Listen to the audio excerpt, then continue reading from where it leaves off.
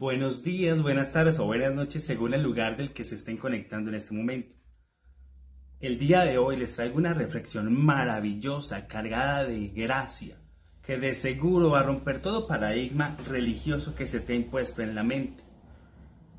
Esta reflexión ha sido compartida por el doctor Paul Ellis y estoy 100% seguro que va a ser una bendición en tu vida. ¿Alguna vez escucharon algo como Dios es santo y si no has confesado pecado en tu vida, Él no va a escuchar tus oraciones? Déjame decirte que eso no es cierto. Si el pecado hiciera sordo a Dios, ningún pecador podría ser salvado. Ellos orarían la oración del pecador, pero Dios no los escucharía. Ora todo lo que quieras, pero no te estoy escuchando. La, la, la, la, la, tengo los dedos en mis oídos. A ver. Imagina si tuvieras que confesar todos tus pecados antes de que Dios te escuche. La mayoría de la gente moriría de vejez antes de terminar. Y no hay garantía de que los tengas todos.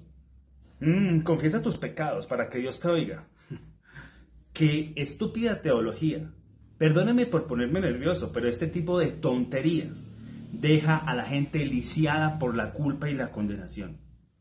Hace que se escondan de su Padre con miedo.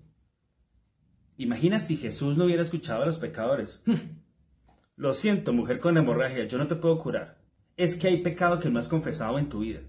Mm, lo siento, mujer atrapada en la cama equivocada. No puedo evitar que estos hombres te apedreen.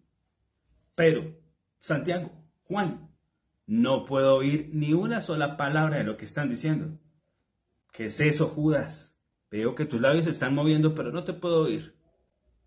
Jesús es la representación exacta del Padre. Si el Hijo escuchó a los pecadores, es porque el Padre escucha a los pecadores. Él escucha todas nuestras oraciones, todas y cada una. Así que acerquémonos confiadamente delante del trono de la gracia como nos indica la escritura. Yo soy Fernando de Isaac. Te voy a dejar acá abajo el enlace de las publicaciones del doctor Paul Ellis que de seguro van a ser una bendición en tu vida. 曹操。